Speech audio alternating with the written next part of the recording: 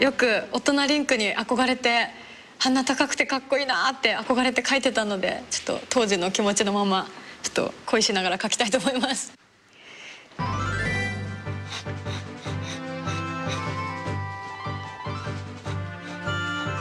そして鼻がすごく高いんだよな。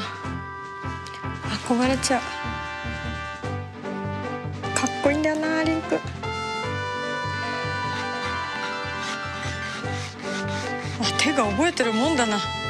見ないでも。当時の13歳の頃描いてたリンク。結構描いてましたね。もう時のオカリナの世界にずっと休み時間もずっと浸ってる感じだったのでなんか余白があればいつもリンクとか書いてましたね。先にナビ書いちゃおう。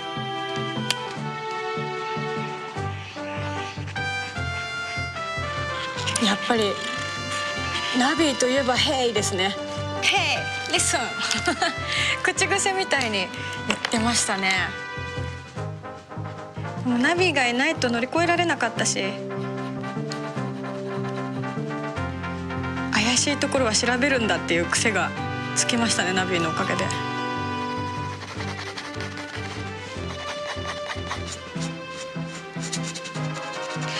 リンクはなんだろう。きっと真面目ですね。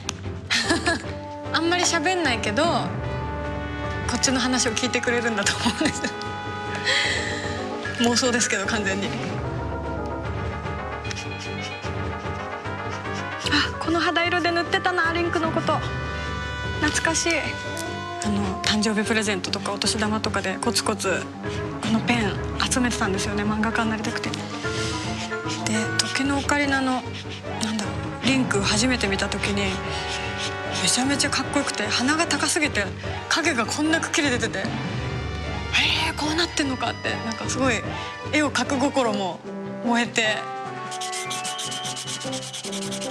あとリンクの大人リンクのちょっと高いとこから落ちそうになる時の「おっとっとっと」っていうち小声で言うとこが萌えです。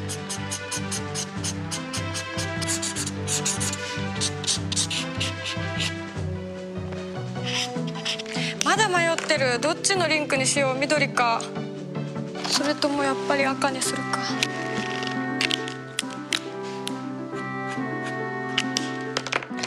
緑かなやっぱり。落ち着くのは緑だ。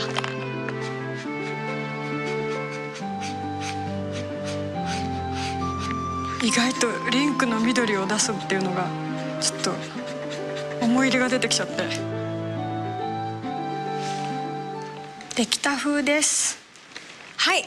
えっ、と森の神殿でナビーがヒントを与えてくれてそれにびっくりしたリンク。はい。よく書いてたな懐かしい。手が覚えてました「ヘイ!」え？あのリンクがよく驚いた顔するじゃないですか。あれがちょっと好きなんですよね